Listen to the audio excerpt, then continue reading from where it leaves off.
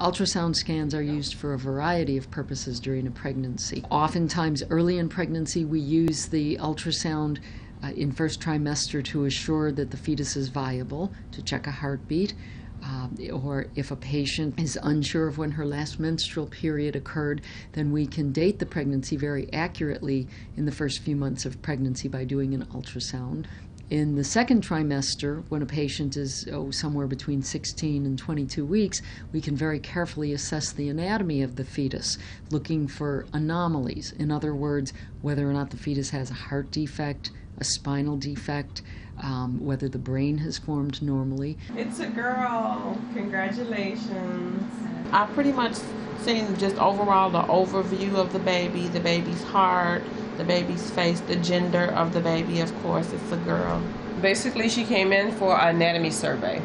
And that's an exam in which we look at basically everything from head to toe. We evaluate the brain, the heart, the organs, the extremities.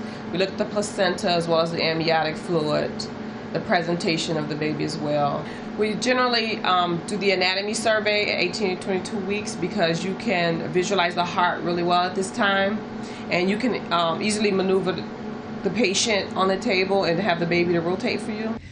As the pregnancy progresses, we use ultrasound often to determine if the fetus is growing properly.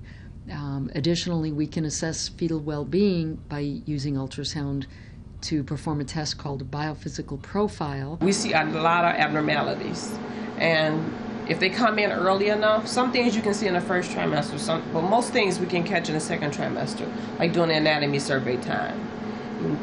It gives moms options if they want to terminate the pregnancy or if they want to just, you know, deal with the situation and continue with the pregnancy and just deal with the outcome.